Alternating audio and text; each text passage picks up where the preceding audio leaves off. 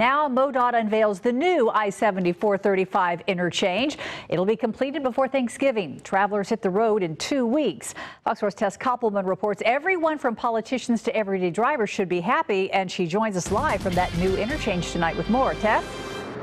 Yeah, after more than $40 million and two and a half years of construction, the I-435, I-70 interchange is now finally almost ready to go. By Thanksgiving, you're going to see three lanes of traffic headed both directions, and hopefully that will relieve some of the bottleneck we so often see around here. But now that the project is done, those workers who made it happen may be out of a job.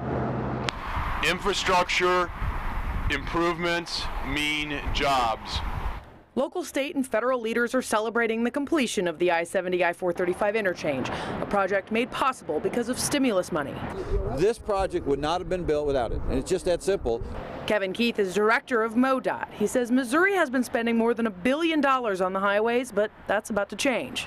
With the stimulus funds done, with Amendment 3 bonding done, until unless we fix the problem, we're going to average 600 million move forward, half of what we've been spending over the last five years.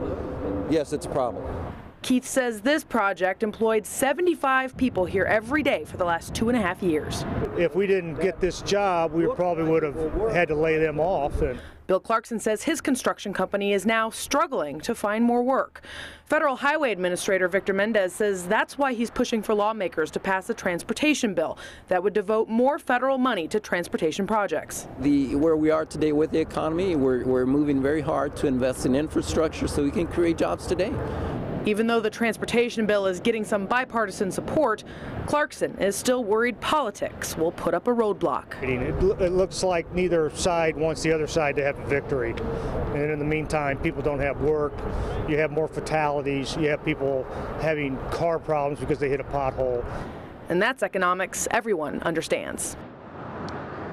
So this project will be mostly wrapped up just in time for Thanksgiving. Now I say mostly because there are a few more 435 ramp projects that are going to have to be wrapped up in the spring. Tess Koppelman, Fox 4 News, working for you live in Kansas City, Missouri. All right.